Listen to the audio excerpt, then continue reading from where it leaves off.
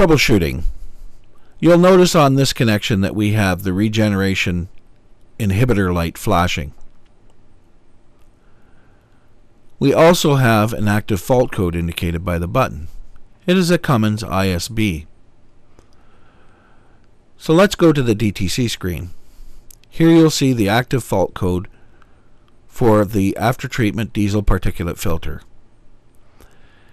Now you must make sure that you select the correct model in order to get the correct fault code. The model is located on a tag on the left side of the engine, on the front cover usually. Once the correct model is selected, and you have Cummins Insite FIS installed, or whether Cummins Insite is registered or not, click on the code.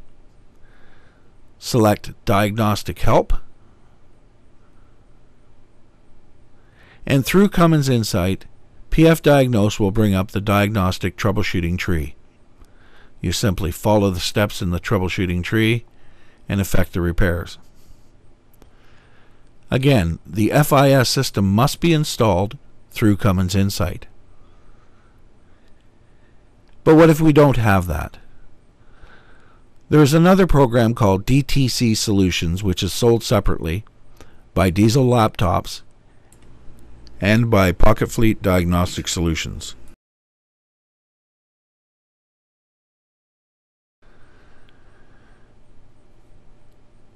Diagnostic Trouble Code Solutions is a software package where you can look up the fault code for any particular engine that's listed.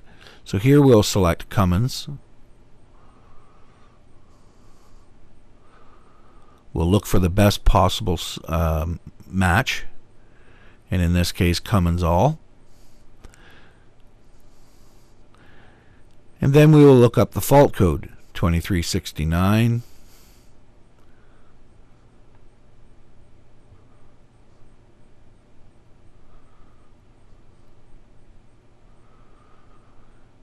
And there it is.